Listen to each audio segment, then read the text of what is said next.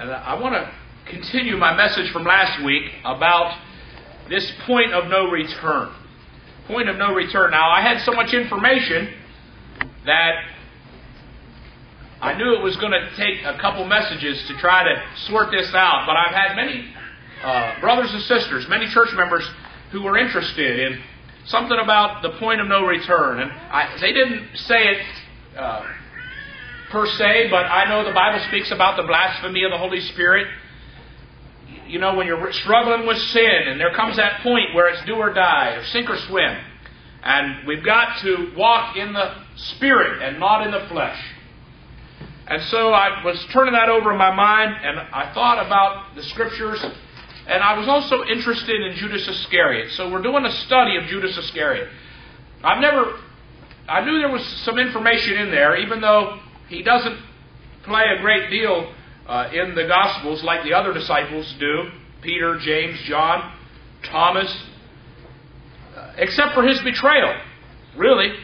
Uh, all we had was that rebuke that came when Mary and Martha, uh, that is the sister Mary, in John chapter 12, took out that very costly oil, the spikenard, the perfume. In, in John 12, 3, anointed the feet of Jesus, and wiped his feet with her hair, and the house was filled with the fragrance of oil.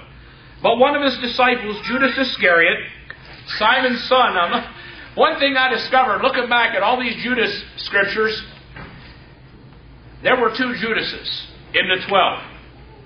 There was Judas, there was James the Less, two Jameses, James the son of Zebedee, James and John, the two brothers, the fishermen, the guys that were called the sons of thunder because they were rough and tough and they were rednecks. I guess you'd call them today. You know, Virginia's famous for rednecks. I mean, who doesn't have a little redneck in them? It just has to be cultivated. Amen? And uh, would to God that, you know, we had a little bit of that rough and tumble spirit at, for the Lord. For the Lord. But there were two Judases. There was a Judas, the brother of James. That was James, the son of Alphaeus. And he's the Judas that we don't know about, but he's the faithful Judas. He's the, the righteous Judas. And so it almost seems like the gospel writers, whenever they refer to Iscariot, they make sure you know we're not talking about Judas, the brother of James, the less, the son of Alphaeus. We're talking about Judas Iscariot. Iscariot, the commentators say Cariot. Is is from. That's Greek from Cariot. Judas Iscariot may have been the only non Galilean disciple. All the disciples were called from Galilee. Cariot, in the English, comes from the, the Greek, which references the town. Kiriath Jearim. Kiriath Jearim. Of course, the J would be a Y. Kiriath Jearim was the town. It was in South Judea. The commentators think that's where Judas Iscariot hailed from. He was a Judean. He was a businessman. Good with money, except really good with it. He was a treasure, except he was a thief.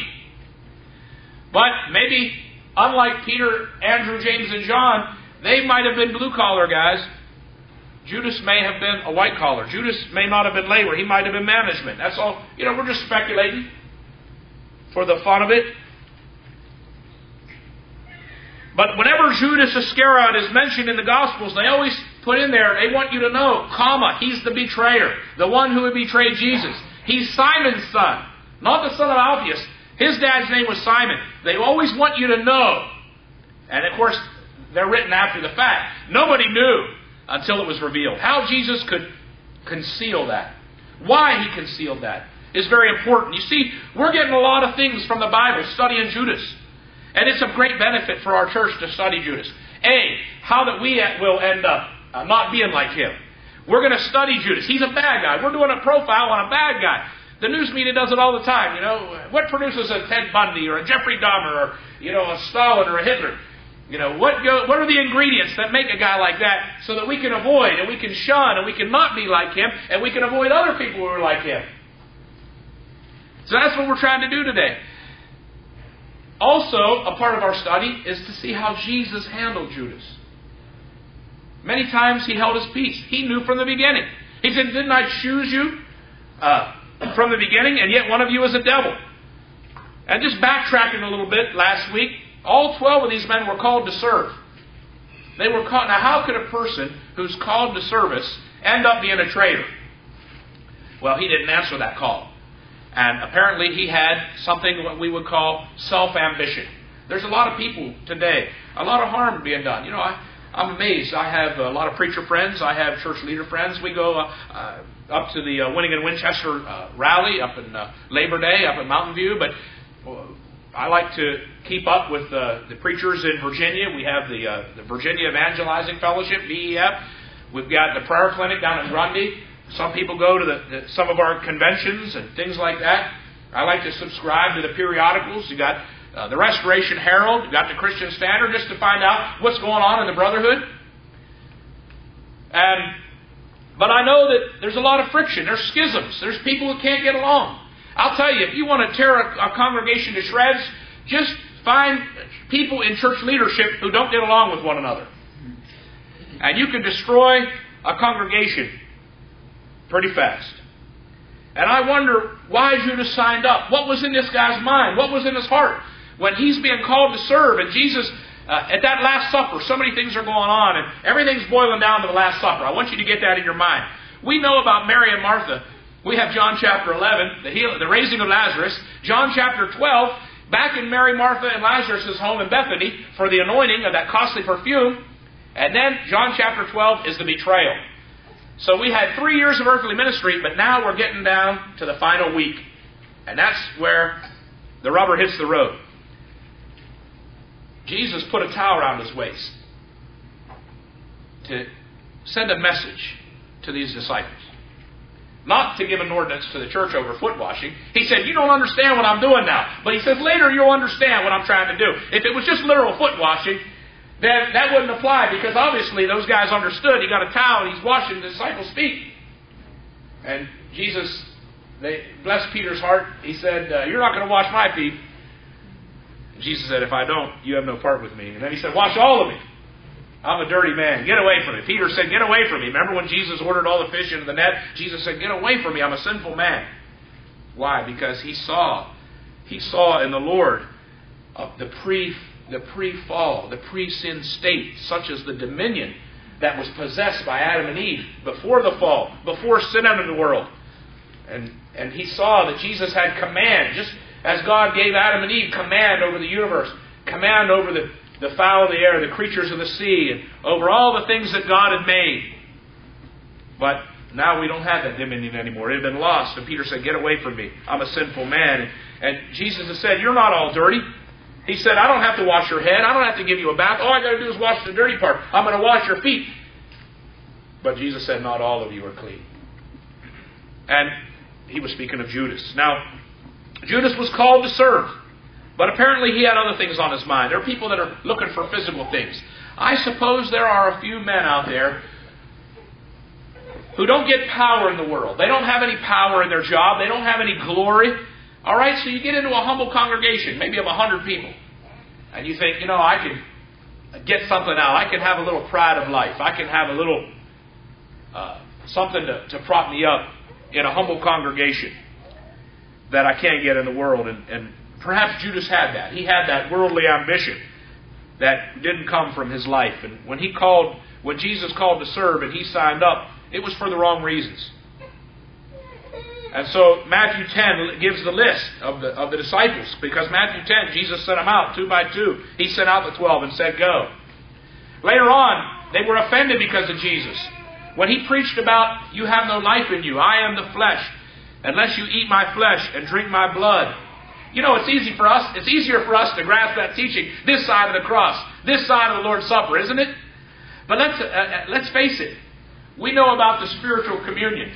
We still have the Protestants and Catholics fighting over, uh, you know, transubstantiation and consubstantiation. Uh, but I don't want to sh- shift to the other end of the spectrum and call, some people call it an emblem.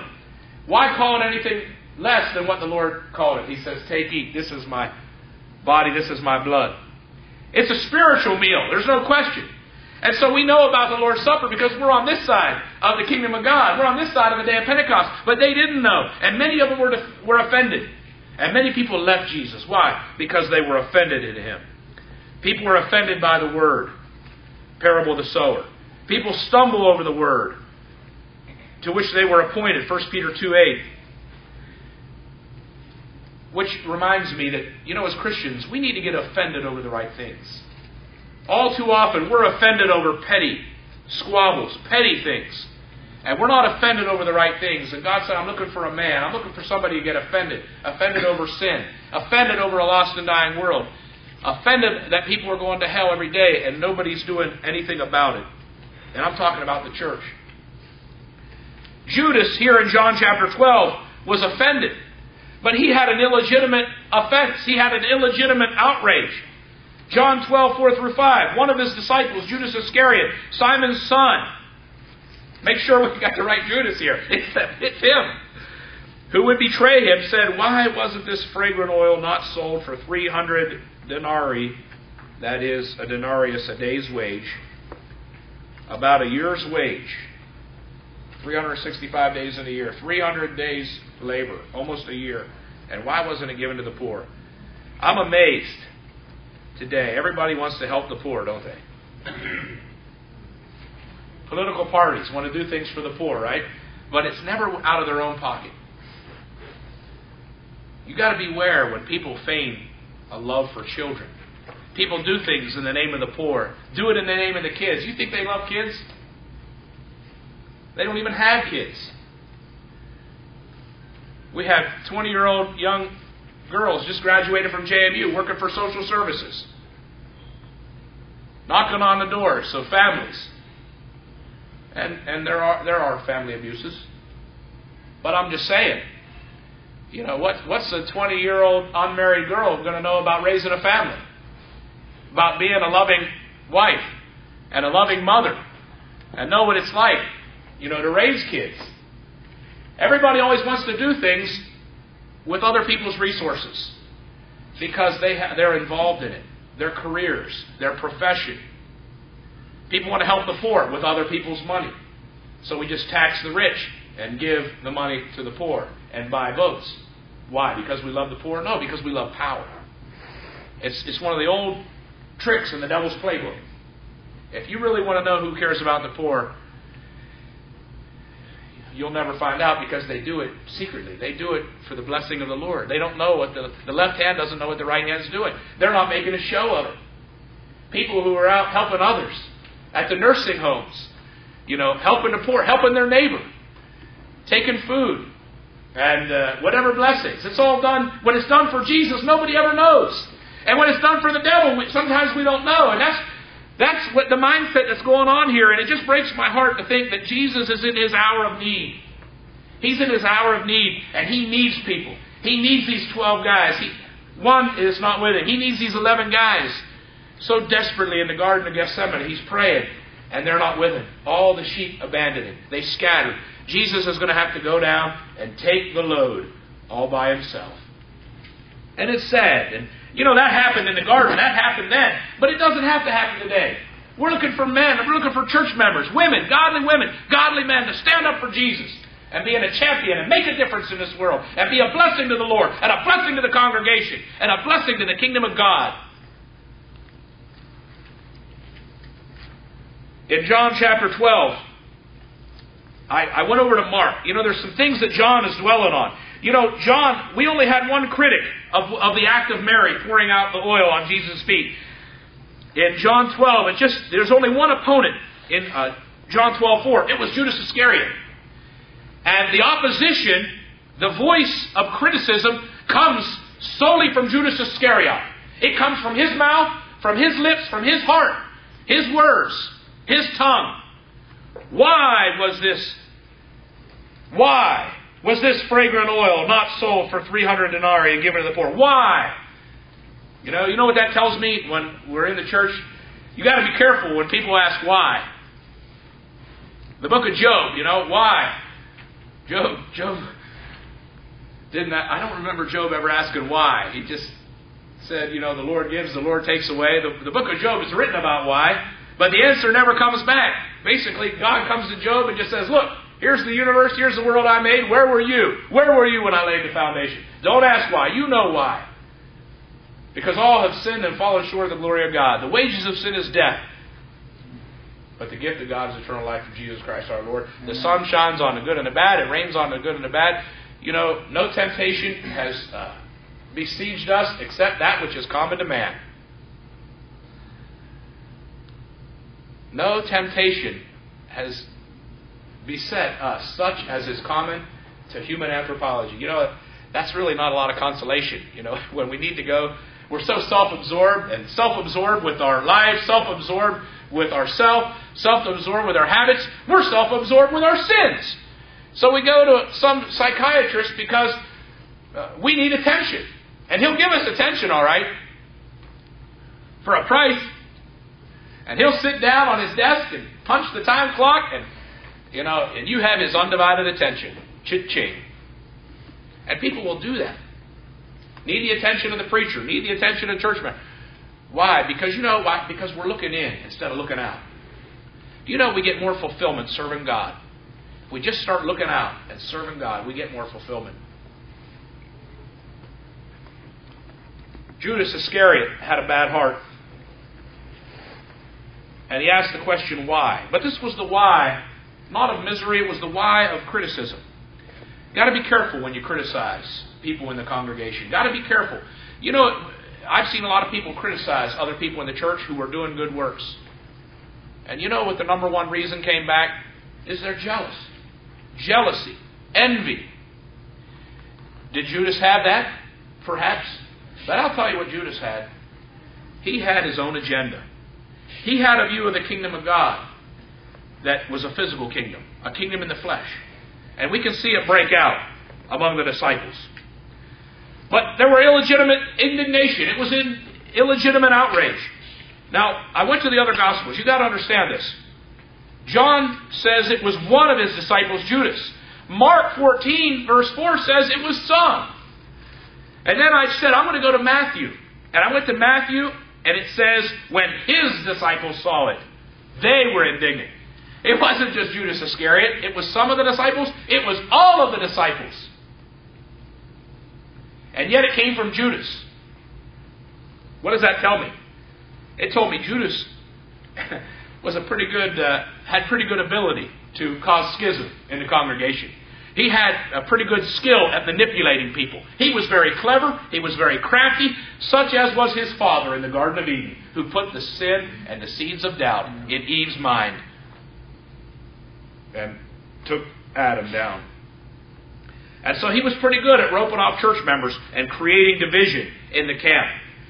It wasn't just Judas, even though he was the spokesman of the disciples. When his disciples saw it, they were upset too. And what really hurts is Mark's account. In Mark 14:4, when the disciples were indignant, they said, "Why was this fragrant oil wasted?" Wasted. Now, you don't have to delve into their mindset very long. What this woman, Mary, this righteous woman, Mary, who was righteous all along, who sat at the feet of Jesus, could care less about the messy house. Not when Jesus is there. You know, Jesus said, The poor you have with you always. Let me tell you something. Your messy house you have with you always. I don't care if you have to leave the dishes dirty in the sink. Get to the assembly. You don't always have Jesus with you. A messy house is always with you. The poor are always with us. But the Word of God, unfortunately, is not always with us. Even if you have a Bible on a coffee table, you know, unless you get to the assembly and break it open, it's of no good to you. It's of no good to you or me. You know, what this righteous woman did to Jesus was an outpouring of love, and Jesus received it. It was the anticipation of his burial, it was the anticipation of his death, and the work uh, in, in preview of what was going to be accomplished at Calvary. And, and the righteous act of that crucifixion and death and burial of Jesus, which Mary anticipated by pouring that beautiful, expensive, fragrant oil in preparation of the burial of his body, the disciples who had spent by now three years with Jesus, who ought to know better, accused of being wasted. All right, I'm, I don't mean to go hard on everybody today. I'm just saying, be careful. You know, be, what what the what God considers worship, the devil considers a waste of time. Let's make sure that we have the right mindset. Amen. Let's be sure we have the Christian mindset so that we'll be able to judge not, not others, but ourselves in the eyes of God. And so we got to be careful. Judas had to respect. We're going to find out that they're arguing over who is the greatest. Who's the greatest among the twelve? Probably Judas's name, I, I imagine, probably would have been high up on that list of who was the greatest. But remember, God's ways are not our ways. Jesus said, Leave her alone. She's done a good work. What she has done will be a memorial to her. Whenever the gospel is preached, even to this day, 2,000 years later, we're still talking about Mary and the oil that she poured out. We need good works today, beloved.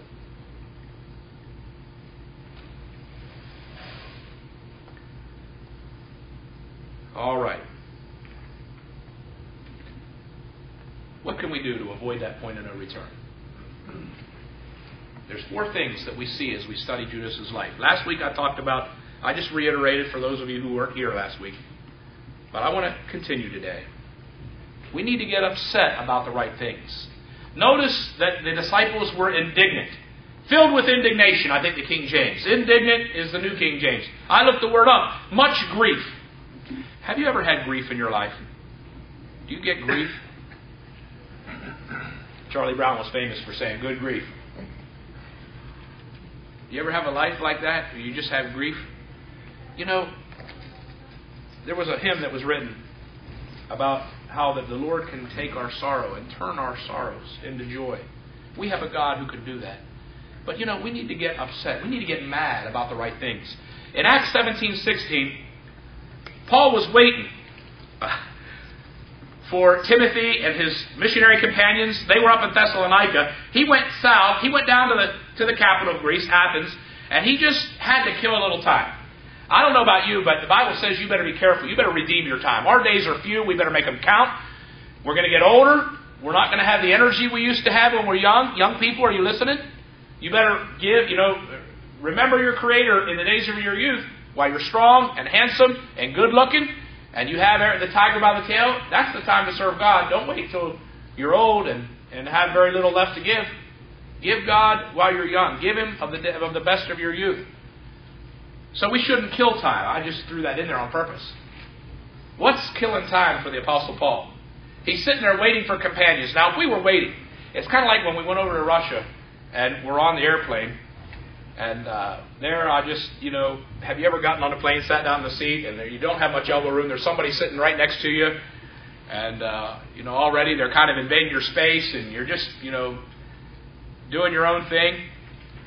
And we're missionary evangelists. And here is the old man, my dad, on the other aisle and talking to the woman and struck up a conversation with her. What do you do for a living? I'm a preacher, man. Where do you preach? Uh, Church of Christ of Mountain View. Uh, up there in uh, Stephens City by the DMV. That's right. I've always wanted to visit there. Uh, what a, and, my, and the other preacher says to me, we haven't even taken off yet, and your old man's already, uh, you know, brought someone uh, to the assembly. and we were ashamed, rightfully so. We're ashamed because if we can't convert somebody on the airplane, how are we going to convert them on the mission field, on the tarmac when the plane lands? Paul's killing time. What does he do? He's waiting for Timothy, waiting for his entourage. His spirit was provoked within him because he saw the city was given over to idols. When's the last time we got provoked about idolatry? When's the last time we got provoked because people have a poor view of the sanctity of life, a poor view of the sanctity of marriage? Idolatry. We were away for a couple days, and they had a television with cable, and I turned it on there. Everybody loves Animal Planet. And of course, we were watching the show, the program where they were going out and arresting all the people who are, you know, being cruel to animals. And we shouldn't be cruel to animals. Proverbs says, a righteous man treats his beast pretty good. So take care of your beasts. But I thought, you know, everybody's so outraged about cruelty to animals. I think I'm going to start a new organization, the Society for the Prevention of Cruelty to Human Beings. Nobody gets upset about, you know, people going to hell, being cruel to a human being, murdering an unborn. And the greatest child abuse is not to raise your children in the nurture and admonition of the Lord. That's the greatest child abuse in God's eyes. And you know, Jesus said if you cause a young one to stumble, You know what should be done to a person who causes a young person to stumble spiritually? It's better to get a millstone, get a concrete block, tie it around him, and throw him into the sea. I'm just saying, we're, we're getting provoked over, over all the wrong things. We got to get provoked spiritually. And if we get upset about the right things, we won't end up like Judas. The seven things God hates. You know what, what Judas was guilty of? Seven things God hates. Six things uh, God hates, yea, seven are abomination. And abomination. Proverbs 6, 16 through 19, a proud look. You know, I was thinking about all the sins that we think are an abomination to God. There's some sins in there that are on some of the New Testament sin lists, but yet they're not on this list of the, of the six things God hates an abomination. A proud look. Now, how, how easily that sin could beset any one of us. Having a proud look. A lying tongue. Hands that shed innocent blood. A heart that devises wicked plans. Feet that are swift in running to evil. A false witness who speaks lies. And one who sows discord among the brethren. You know, one of the worst sins we could commit is causing a schism in the congregation. And that's the best time to preach on it now. Is because things are pretty, uh, we, we're pretty united right now. And we have a lot of love and the affection and outpouring. We're growing. We have a lot of people coming in. But those are the six deadly sins, the seven sins that God hates. And that's the sin that Judas committed. You know, if we can just get upset about the right things and love what God loves and hate what God hates, we won't be like Judas. If we just edify the body of Christ, if we cheer, treat the congregation with respect as a little baby, as a little tender infant, and give it all the love and the care, then we won't divide the camp. We won't be like Judas, who not only was able to oppose Jesus and criticize Mary, he was able to rally all the 11, the other 11 disciples to himself. And Jesus was all alone. He was all by himself, and all the 12 disciples turned against him.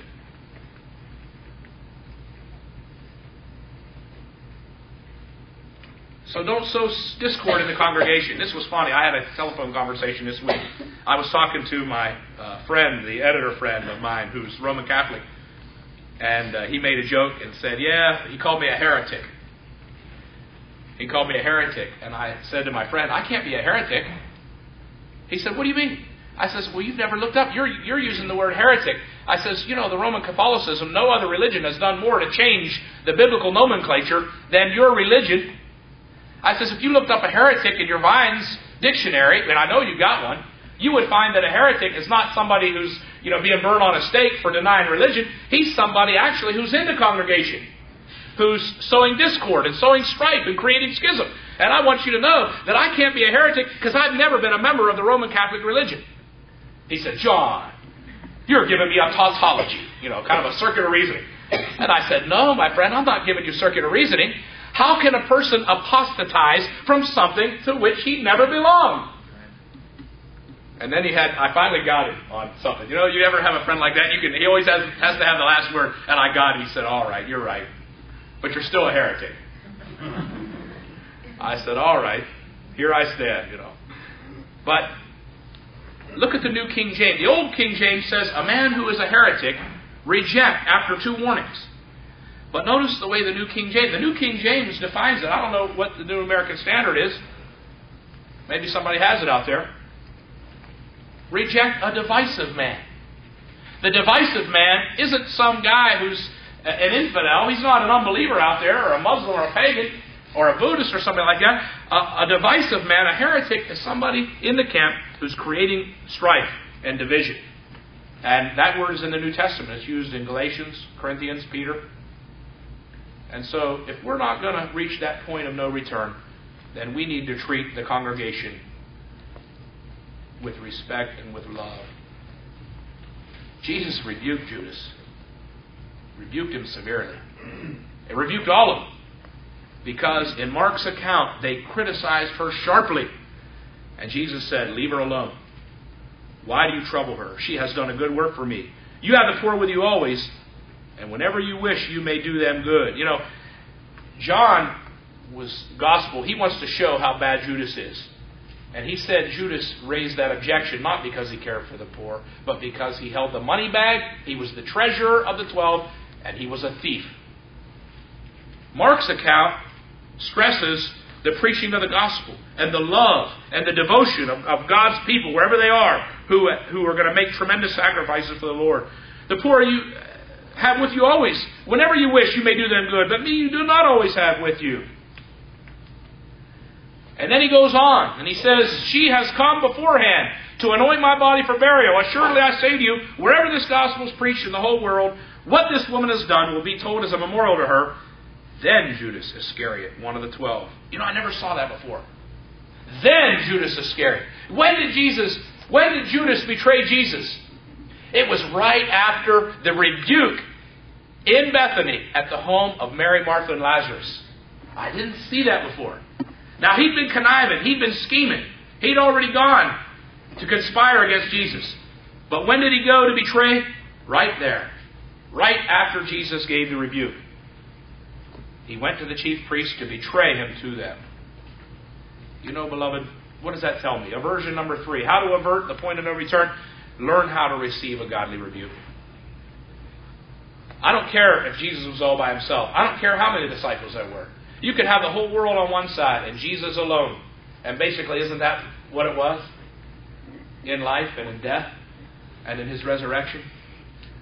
The Bible says, you know, let every man, let God be true, let every man be a liar. And I'm a liar. Every one of us is a liar, and you're a liar.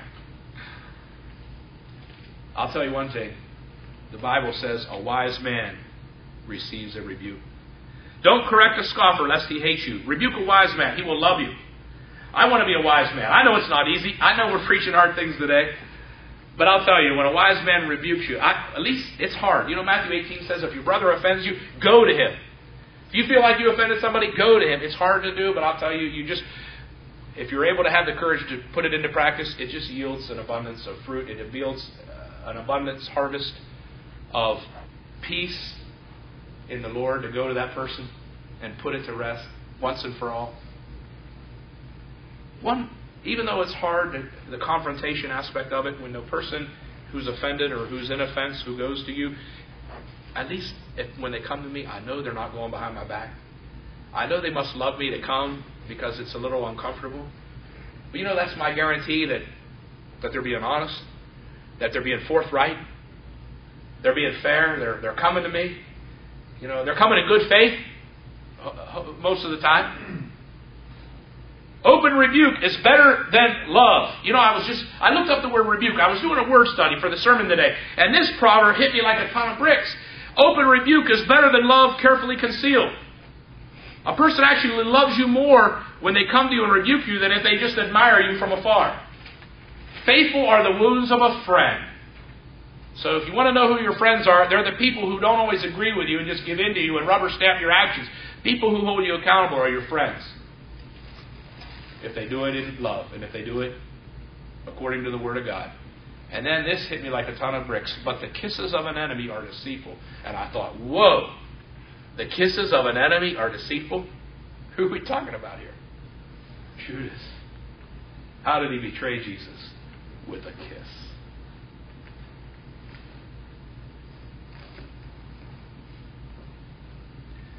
The determined will of God. Luke's account. Luke's account is different in many respects. We had Matthew, Mark, and John. Luke doesn't go into the detail on Judas as they do. Luke gives you the Lord's Supper, and we're almost ready to come around the Lord's table here. When Jesus says, This is my body, this is my blood, Mark doesn't give us all the theology. Paul gives us more. You know, there's more about the Lord's Supper in 1 Corinthians 11 than there is in the Gospels. Matthew 26, 28. Mark. Luke says that he gave the Lord's Supper. He said, Take, eat, this is my body. Take, drink, this is my blood.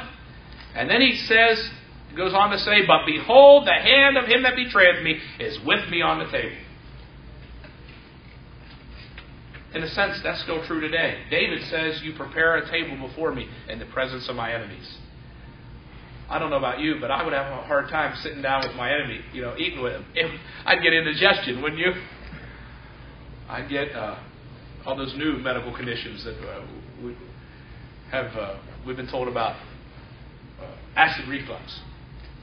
Acid reflux. How many get acid reflux?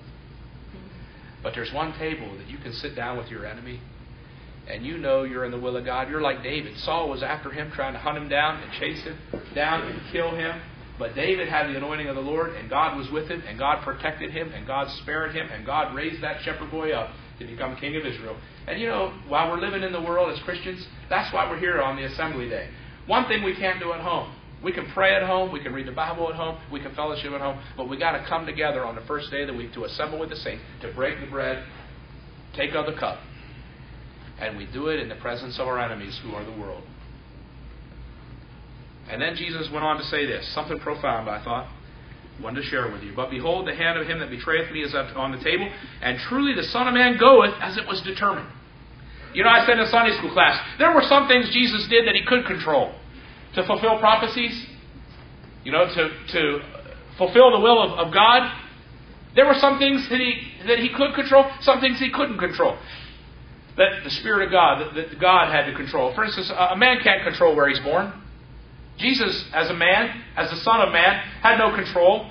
He had no idea growing up in Nazareth that, a, that the, the, emperor would put a decree into all the world that would cause the uh, disturbance and upheaval of the Middle East. And uh, that caused his father Joseph and Mother Mary to get on their uh, the donkey and ride down to Bethlehem, to the place of their lineage, and to pay the tax. And it was there that she was delivered, brought forth her son. Jesus, wrapped in swaddling clothes. But let me say this it was the determined will of God. That word there, horizo. Now, prohorizo is predestinate. That's a strong word. Horizo means to mark out. God had it all mapped out. That's the same word here that's used on the day of Pentecost. By the determined will of God, God knew you would do it, but you, with wicked hands, have crucified the Son of God. God has raised him up. God knew you would do it. It was mapped out, but you did it, and you're still guilty. You're still accountable. And there's things that you must do to be saved. You see, what God held to the crowd on the day of Pentecost and what he held upon every one of us today was the same conditions that was held out to Judas Iscariot. Just because God knew that he would do it, just because Jesus had foreknowledge, just because God had mapped out in that great chess game that was boiling down to, to the cross, just because he knew, didn't exempt Judas from the guilt of his act. Because we have a free will. Just because God knows what we're going to do doesn't get us off the hook when we have wicked deeds and we do unrighteousness. And God knew we, He would do it, but He did it, and He was still accountable. And on the day of Pentecost, God had planned it, but they still did it. It's the horns of the dilemma. And truly the Son of Man goes as it was determined. I love that. Don't you see the sovereignty of God? Don't you see the perfect will of God here? Everything that God determined, Jesus accomplished. Jesus went. He came, He went. He came down, He went up. Everything He did was in fulfillment of the determinate will of God. But woe to that man by whom He is betrayed. There's one more thing that Judas committed that darkened his heart to God, and that is the pride, the ambition. The last aversion is that the disciples kept arguing over who was the greatest disciple. And they had done it early in the ministry. They're, back in Mark 9, Luke 9, it's two different accounts, it's the same situation. They had just been up on the Mount of Transfiguration. Peter, James, and John, you know, Jesus would do things and lift some disciples up at times and others. The inner three, no doubt, are Peter, James, and John. He took them up on a mountain. He left the other nine, ten, eleven, nine uh, behind. Just had to check there. If anybody was the greatest, coming down from the Mount of Transfiguration, you know, Peter, James, and John. Certainly they would have a reason to argue. We're the greatest. And then they come down off the mountain, and then this guy, this ruler, has a son who's got a demon in him, and, and as great as those disciples thought they were, none of them can cast the, the demon out. I'm talking about Mark 9, Luke 9. And they, they tried to cast him out, and finally the guy came to Jesus and said, Jesus, I came to your disciples first. I didn't want to bother you, but I had, my son's got this terrible demon in him. He just keeps throwing him down. Little kids, when when they're really bad and they're throwing a temper tantrum, have you ever seen that? Little kids will just just uh, throw themselves down and you, you can't pick them up. You know, I know we got all these sociological conditions. I don't know if there are demons still in the world today. You know, people could be afflicted with demons if they were afflicted in the Bible days. Do you think demons, you know, went, went out of business today? If demons afflict and torment and tempt people today, you think they can't tempt kids? Foolishness is bound in the heart of the child, you know, but the psychologist can get him out. Is that what the Bible says? Foolishness is bound up in the heart of a child, but, you know, Ritalin can get that foolishness out. Mm-hmm. I guess I'm old fashioned.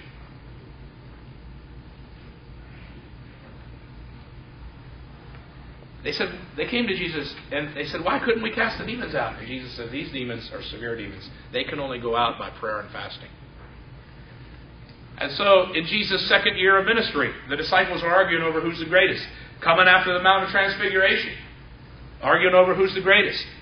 and then the mother of James and John comes to Jesus and says, I have a special favor for you. Oh, yeah. What is that, man?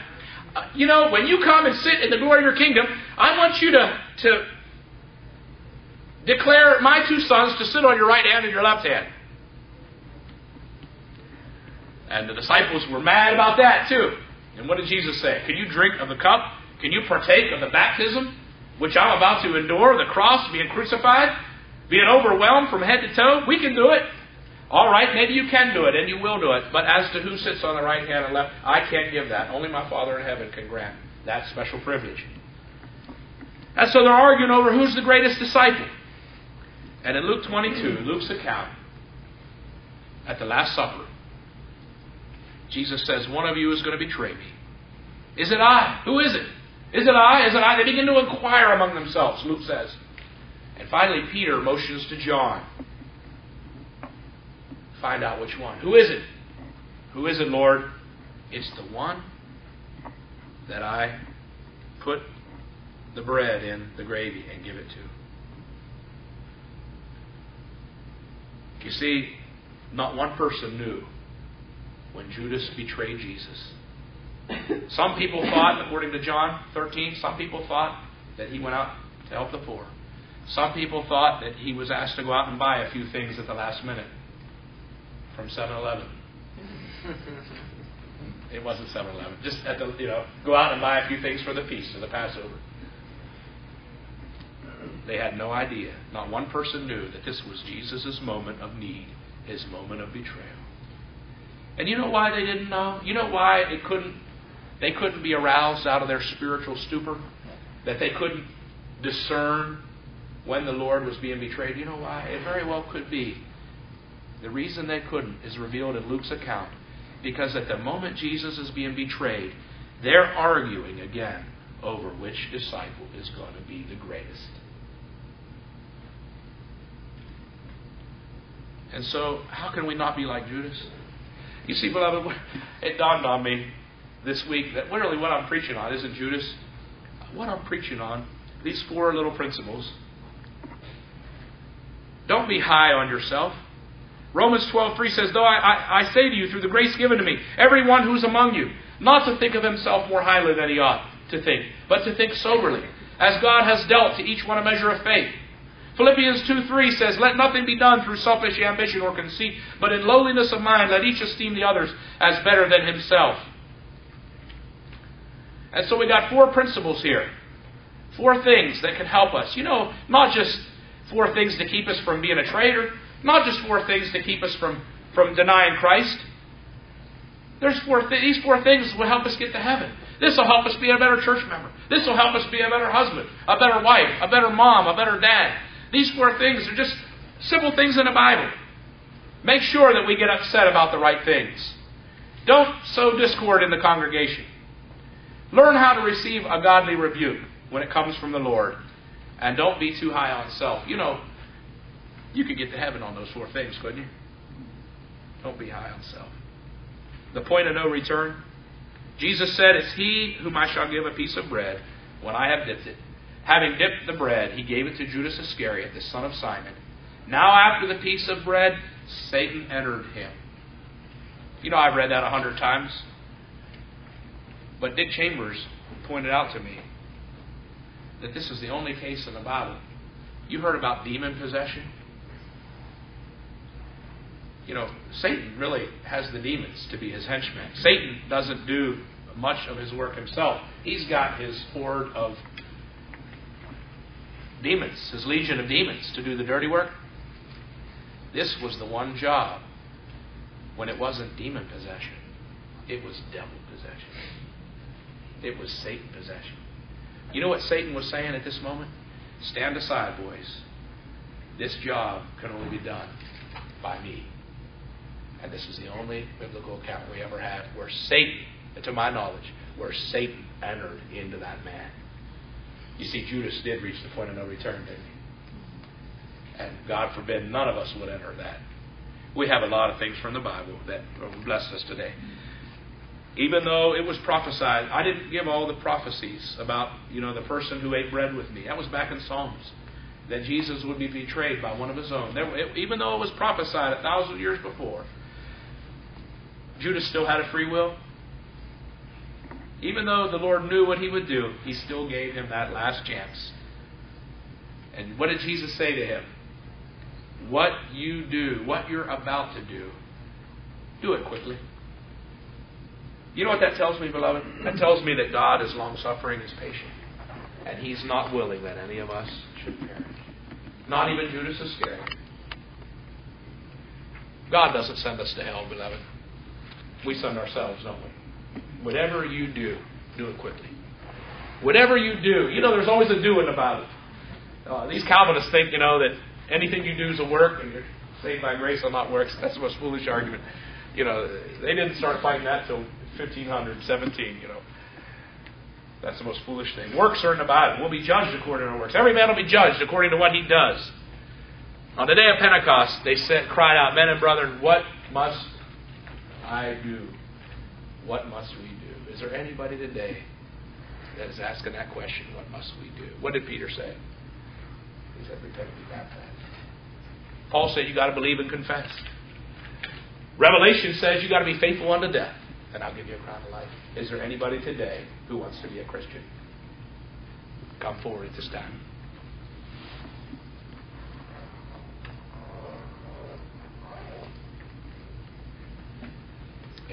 Let's come around the Lord's table.